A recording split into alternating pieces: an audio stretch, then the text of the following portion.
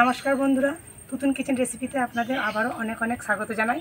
বন্ধুরা আজও একটা নতুন রেসিপি নিয়ে চলে এসেছি, আপনাদের সাথে শেয়ার করব। আজকে আমি চিড়ে দিয়ে দারুণ একটা তেলে ভাজা রেসিপি দেখাবো। তো বন্ধুরা, শুরু থেকে শেষ পর্যন্ত ভিডিওটা দেখতে থাকুন। আশা করি ভিডিওটা দেখলে ভালো লাগবে। প্রথমে আমি চিড়াটাকে ভালো করে জল দিয়ে ধুয়ে নেব।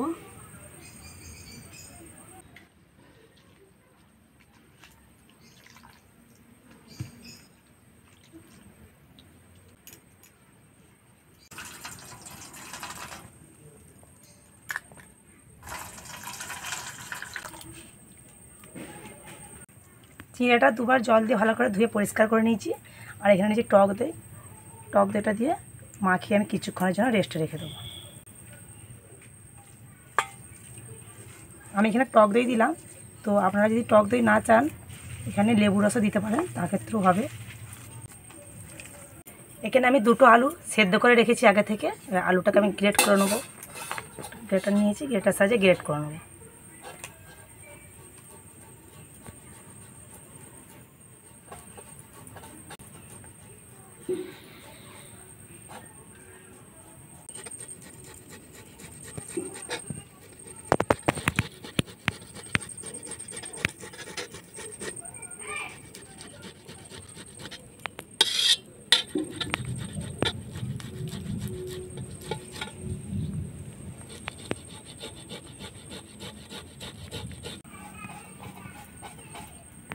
আলুটাকে গ্রেট করে নিয়েছি।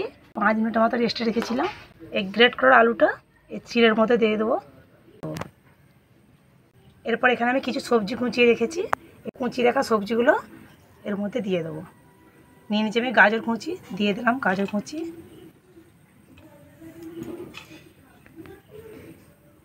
এখানে গোটা পাঁচে কাঁচা লঙ্কা কুচিয়ে রেখেছি, দিয়ে দিলাম। দিয়ে দিলাম ধনে পাতা কুচি। মশলার মধ্যে দিয়ে দিলাম ধনে গুঁড়ো।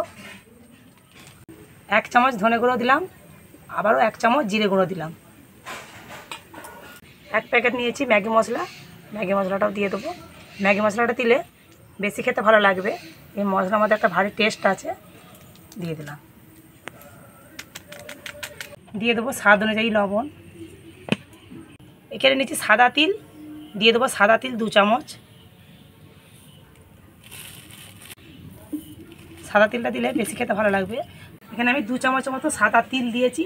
তো সাদা তিলটা দিলে তেলে ভাজাটা বেশি খেতে ভালো লাগবে। আপনারা চাইবেন সাদা তিলটা দেওয়ার জন্য।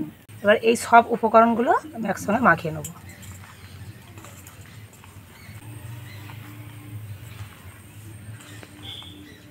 এখানে আমি জল দিলাম না, চিঁড়েটা ভিজে ছিল আর সেদ্ধ করা আলু নিয়েছিলাম। তার জন্য এখানে জল লাগল না। যদি জল লাগে পরে আমি দিয়ে দেবো। তো আপনাদেরকে দেখিয়ে দেবো। আমি এগুলো সব মাখিয়ে নিয়েছি। সব শেষে দিয়ে দিলাম বেসন।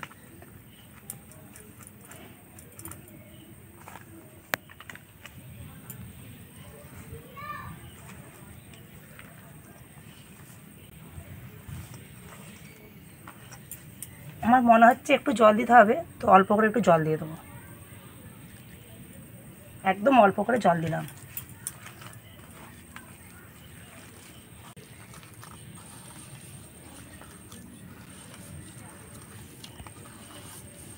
এবার আমি হাতে একটু সাদা তেল লাগিয়ে নেব।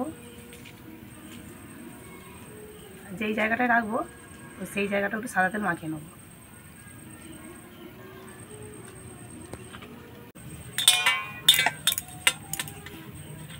এবার এ থেকে হাতে করে তুলে নেব, তুলে নিয়ে একটা সেপ নিয়ে নেব।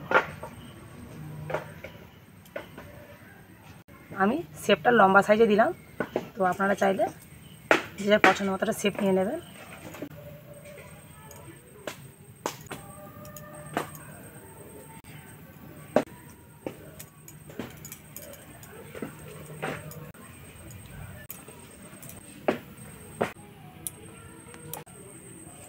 আমি সবগুলোই লম্বা সাইজে শেপ নিয়ে নিয়েছি। আর এখানে কিছুটা সাদা তিল রেখেছিলাম। ওপর দিয়ে দুটো সাদা তিল ছড়িয়ে দেবো।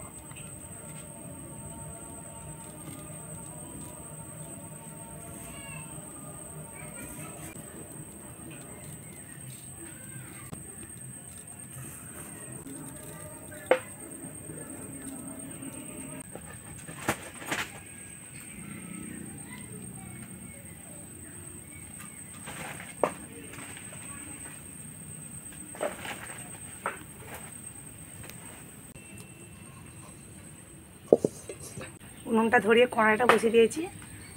কড়ার মধ্যে দিয়ে দেবো সাদা তেল।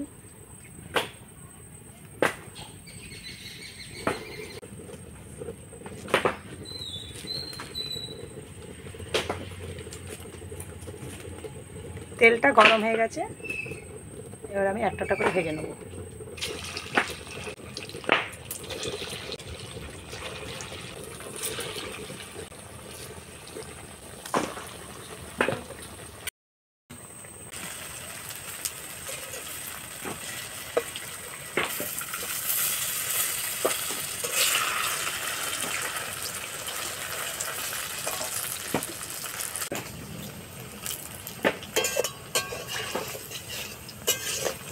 লাল লাল করে ভেজে নিয়েছি এবার আমি তুলে নেব।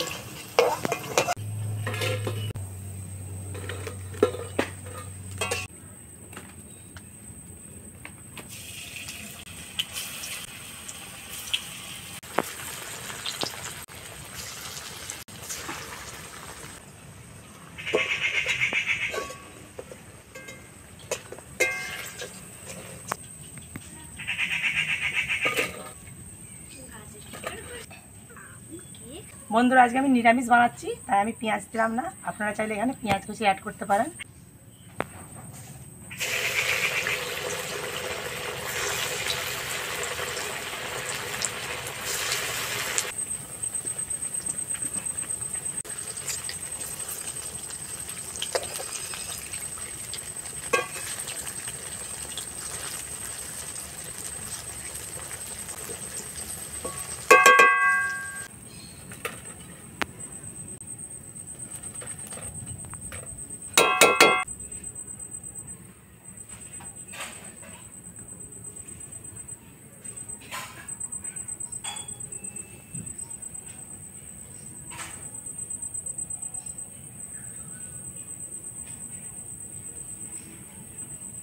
সবগুলো আমি বানিয়ে নিয়েছি, একটা জায়গায় তুলে নিয়েছি, একটা আপনাদের ভেঙে দেখাবো কেমন হয়েছে।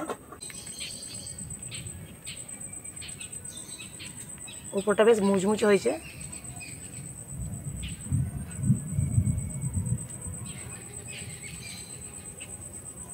আজকের আমার এই চিঁড়ের রেসিপিটি কেমন লেগেছে কমেন্টে অবশ্যই আমাকে জানাবেন। ভালো লাগলে একটা লাইক করে দেবেন। আর প্রচুর প্রচুর পরিমাণে সব বন্ধুদের শেয়ার করুন। আমার ভিডিওটা যেন সবাই দেখতে পায়। আমার চ্যানেলে যদি নতুন বন্ধু হয়ে থাকেন, আমার চ্যানেলটা সাবস্ক্রাইব করে পাশের বেলাইকানটি ক্লিক করে রাখবেন পরবর্তী নতুন ভিডিও নোটিফিকেশান পাওয়ার জন্য। আপনারা সবাই ভালো থাকবেন, সুস্থ থাকবেন, সাবধানে থাকবেন। আজকে এই ভিডিওটা আমি এখানেই শেষ করলাম। দেখা হচ্ছে নেক্সট ভিডিওতে। ধন্যবাদ।